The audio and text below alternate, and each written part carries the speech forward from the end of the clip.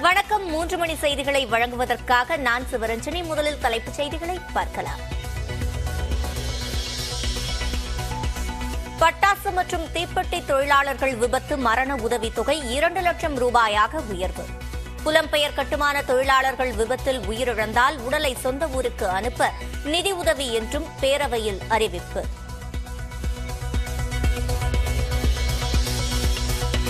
செங்கல்பட்டு திருவள்ளூர் சென்னை மாவட்டங்களில் நூற்று ஆறு கோடி ரூபாயில் வெள்ள தடுப்பு பணிகள்.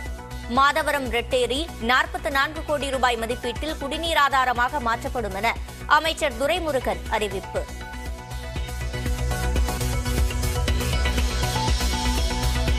போன்பே பேடிஎம் போன்ற செல்போன் செயலிகள் மூலம் அனுப்பும் பணத்திற்கு கட்டணம் இல்லை. இரண்டாயிரம் ரூபாய்க்கு மேல் அனுப்பினால் கட்டணம் என வெளியான தகவலுக்கு தேசிய பண பரிவர்த்தனைகள் கழகம் விளக்கம்.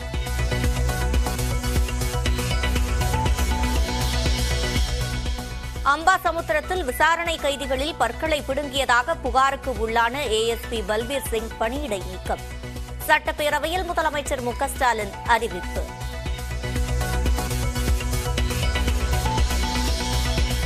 பற்களை பிடுங்கி சித்திரவதை செய்யப்பட்ட விவகாரத்தில் பாதிக்கப்பட்டோர் நேரில் புகார் அளிக்கலாம்.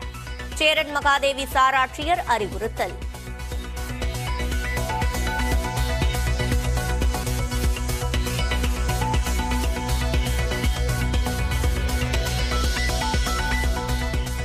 ஏஎஸ்பி பல்பீர் சிங் சித்திரவதையால் பல்லை இழந்ததாக வீடியோ வெளியிட்ட நபர் திடீர் பல்டி.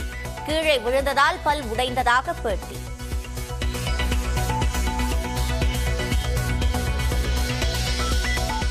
ஆப்பிரிக்காவில் இருந்து கொண்டு வரப்பட்ட சிவிங்கி புலி நான்கு குட்டிகளை ஈன்றது. மத்திய வனத்துறை வீடியோ வெளியீடு.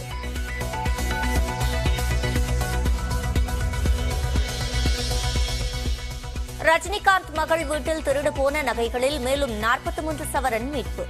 பணிப்பெண்ணிடம் நடத்திய விசாரணை அடிப்படையில் போலீஸ் மீட்டது.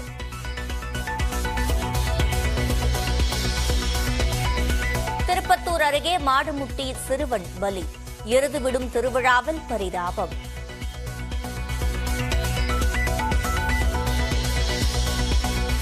கர்நாடக சட்டப்பேரவைக்கு மே பத்தாம் தேதி ஒரே கட்டமாக தேர்தல். பதிமூன்றாம் தேதி வாக்குகள் எண்ணப்பட்டு முடிவுகள் வெளியாகும்.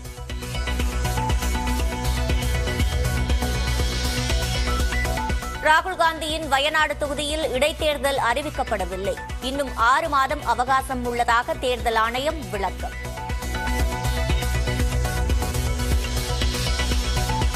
அதிமுக பொதுச் செயலாளர் தேர்தல் செல்லும் என்ற உத்தரவுக்கு எதிரான ஓ பன்னீர்செல்வத்தின் மேல்முறையீடு வழக்கு. நாளை விசாரிக்கிறது சென்னை உயர்நீதிமன்றம்.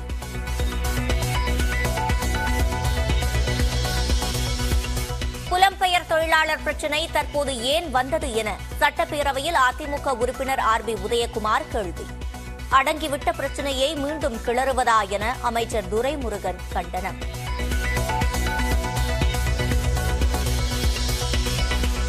வேங்கை வயலில் குடிநீர் தொட்டியில் மலம் கலக்கப்பட்ட விவகாரம் பற்றி விசாரிக்க ஒரு நபர் ஆணையம்.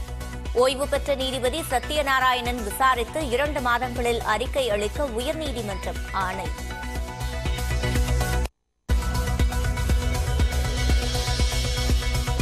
உதகை தாவரவியல் பூங்காவில் மே பத்தொன்பதாம் தேதி தொடங்குகிறது மலர் கண்காட்சி.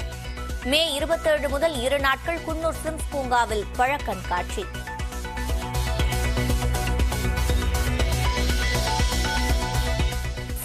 மாவட்டம் திருப்பத்தூர் அருகே களை கட்டிய மீன்பிடி திருவிழா. பத்துக்கும் மேற்பட்ட கிராம மக்கள் கூடி கண்மாயில் மீன்பிடித்து கொண்டாட்டம்.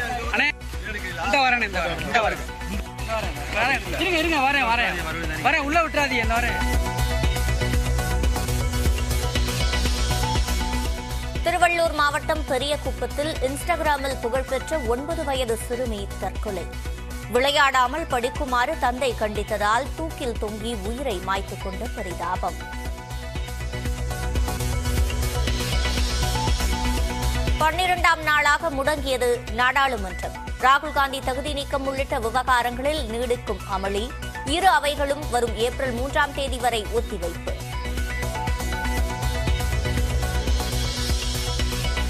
லட்சத்தீவு எம்பி முகமது ஃபைசலின் தகுதி நீக்கத்தை திரும்ப பெற்றது மக்களவை செயலகம். பத்து ஆண்டுகள் சிறை தண்டனை ரத்து செய்யப்பட்டதும் தகுதி நீக்கம் வாபஸ் பெறப்படாததால் நீதிமன்றத்திற்கு சென்ற நிலையில் முடிவு.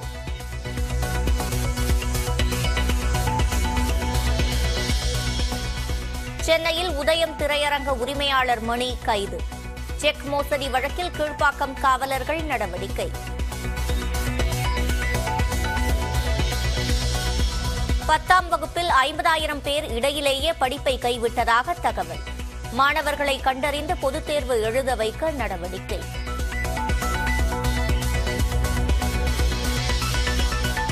கோவை நீலகிரி உள்ளிட்ட ஆறு மாவட்டங்களில் இன்று கனமழைக்கு வாய்ப்பு. சென்னையில் முப்பத்து நான்கு டிகிரி செல்சியஸ் அளவிற்கு வெப்பநிலை இருக்கும் என கணிப்பு.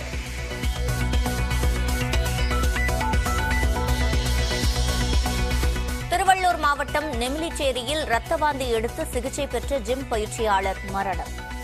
உடலை கட்டுக்கோப்பாக வைக்க அதிக அளவு ஸ்டெராய்டு எடுத்ததால் சிறுநீரகங்கள் செயலிழந்ததாக தகவல்.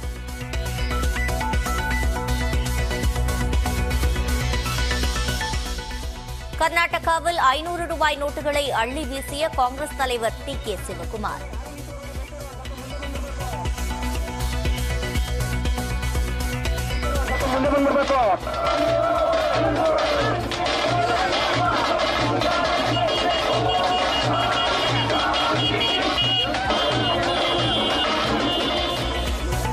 பிரஜாத்வானி யாத்திரையின் போது தொண்டர்களுக்கு அன்பு பரிசு.